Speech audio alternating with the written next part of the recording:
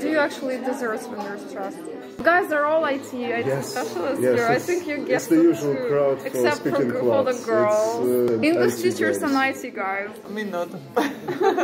You're an exception to that. You're an exception. Плока куздра штека будланула бакрай, куздрячит бакренка. Spanish, German, French. It's Andrew's question again. Uh, as an example to illustrate this idea, so you don't know the meaning of these words because they simply don't exist. Is that a tool for you or you really enjoy English? I enjoy what I'm doing. Every day I try to discover something new. The biggest part of my life, I guess. I love it. And it's just not a tool for me. I it. Can you learn English without learning grammar? That's how I learned English. I think it's impossible, but it's one of the most important components. Talk to people on the internet and then just it happens. Best approach to learn. Uh, it's uh, very it's very hard to answer this question because I think it's just too personal.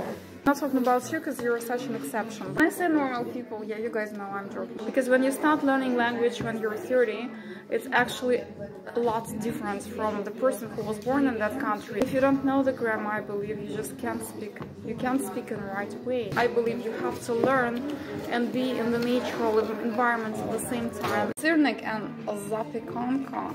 Think are the same thing. I I bought it once, I bought it twice, and I couldn't. I, I bought it the third time. And when I bought it for the third time, I realized that I liked pudding more than the pecan pie. Tell you why you can't make it. Why? Why they are professionals. Uh, they uh, feel when they do something. Oh and that's yeah, where you fail. really. Uh, they are Photoshop professionals.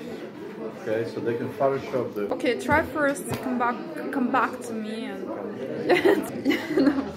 you get used to going to certain places. Yeah, uh, and for some people it's really hard. Yes, right. Would you like to join us?